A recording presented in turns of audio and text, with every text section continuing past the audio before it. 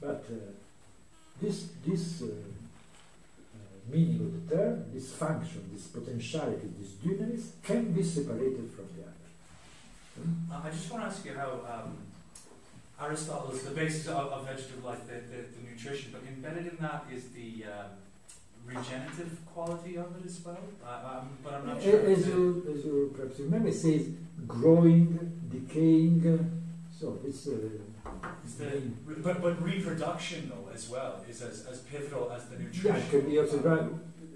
It, it, chooses a term, treptikon, which is a very large term in Greek, means uh, nourishing, but it means, uh, then we have analysis of, uh, for instance, Benveniste, the great linguist, he say, in a sense, uh, trep, in Greek means uh, to leave a being reach its natural growth, its natural state. What was the word in Greek you said? That, that Treptikon, treptein. The verb is trepto. But let's now think to the strategy here, to the meaning of this.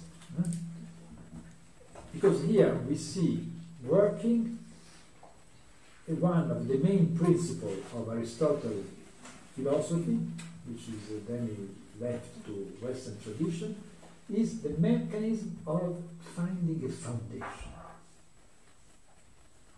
What, what, what it means, what, what does Aristotle means by foundation? The Greek term is arche. Arche in Greek means principle or ground. It's also command, principle or ground.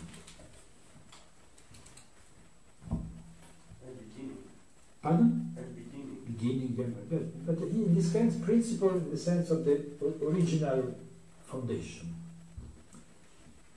Aristotle will say like this, he said, whenever we have to define what a thing is, what something is, we have to transform this question to ask through what, dia ti, something belongs to this. So, we have to define what is a living being. We have to find something, an arche, through which then we will say that life belongs to this. So this is living. Why it is living? Because it has this nutritive power. So you have to isolate, divide the life, and find something that will function as a foundation, as a ground, as an arche, in order to be able to ascribe to a being the quality of being alive. So, what, what is a living being? A living being is a being who has the nutritive faculty. Do, do you realize that? So it seems, it seems very simple, no? because we are accustomed to it. But do you realize that incredible importance of this operation. So it does not define what life is. Not at all.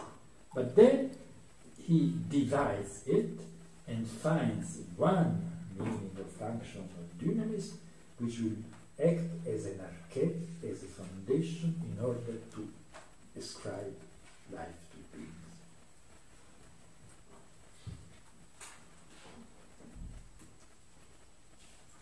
So, and here it seems uh, an innocuous philosophical operation.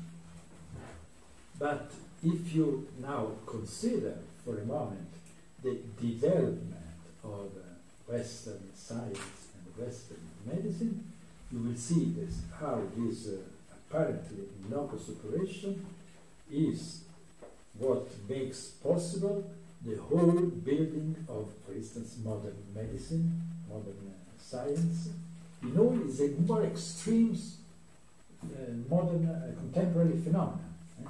The possibility of separating what after was called vegetative life. Aristotle does not, uh, he hates plants, you know, he refers to plants, but he didn't think to the term vegetative, phytikon, but uh, already late Aristotle commentators, Denisio, etc., some centuries after, defined the term phytikon, vegetative, that was that then after was taken by modern scientists. So, did you realize, for instance, that uh, modern surgery was made possible only by the fact that materially separating through anesthesia vegetative life from consciousness, then gets into the other function. No? You realize this is clear, no? Uh, the medicine uh, transformed this uh, metaphysical, uh, logical definition in an operation. We are now able to completely separate vegetative life from uh, life of the consciousness, uh, etc., etc., sensation. Then I started with the uh, traditionally nutritive life, sensation life, uh, thinking life, all the other conscious life. No? But there is one which will act as the arche and which will make possible all modern science. Let's say, yes? Uh, we are falling in a trap, though, aren't we? With Pardon? we are falling in a trap this way, though, aren't we? That um, a trap that you know went throughout to um, throughout the 18th century with Kant again. Uh, the whole story about Aristotelian essences, and it was dealt with already in, in Plato's Parmenides because it, it treats the same issue, it anticipates it, whether uh, we perceive being as being, you know, immobile, mobile, whether it is, it is not. All these properties that Aristotle as, um, um, attributes to being, Plato had already um, destroyed all this because um, what he did anticipate was the count that Aristotle left outside, the count, count as one, Count. ah. the, the representation of, of everything, the, which is now we rediscovered through postmodern, you know, films, through Saussure and so on. But this was already anticipated. But not in the same way as Aristotle, as the Aristotle division operation in order to attribute to found an arche, it seems to me. So that, that's peculiar to his Aristotle grounding strategy. But what, as what a I mean, hmm? He rendered all this as a fluke you know, before it was written. The, the whole story about essences and how we proceed from this to derive foundations in that. Is that not right? I don't understand well what you mean, but, but here what I wanted to, to make clear is the, the oper- operative uh, meaning of this strategy in modern science. If, for instance, now we take, uh, we go on and we reach the one of the texts which is really the foundation of modern medicine, which is uh, uh, Bichat, Recherche physiologique sur la vie et la mort. It's a great uh, French uh, scientist who uh, physiological research inquiries on the life and the death. And again, you could expect here we will have a definition of life. Not at all. He will push to the extreme Aristotle division and he will distinguish fundamental two animals. In a man, there are two animals. Who was the author? Huh? Who was the author? I didn't Author. understand. Visha. Visha. V-I-C.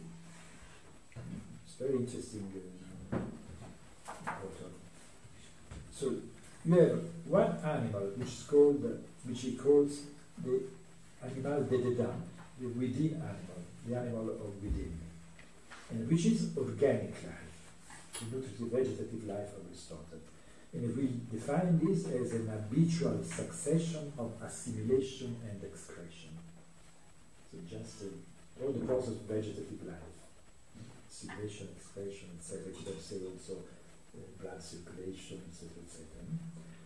And then there is uh, what he calls l'animal existant au dehors, the animal, the, the animal of the outside, which is the